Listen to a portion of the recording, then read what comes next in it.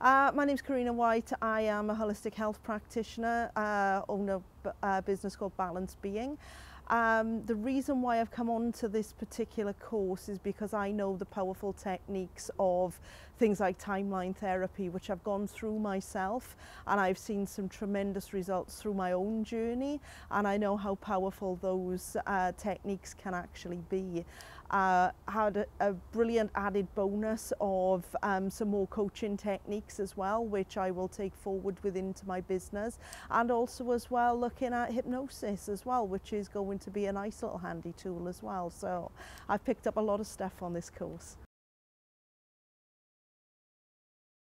Um, it was great to get a, um, on day two we did like live coaching sessions. Now that was really, really useful um, to see how these different things can, uh, you know, actually help people without even going into technique. Even though I'm a health coach as well, this gives me more things that I can do with my clients as well. So it's given me extra tools in the toolbox, which was fantastic.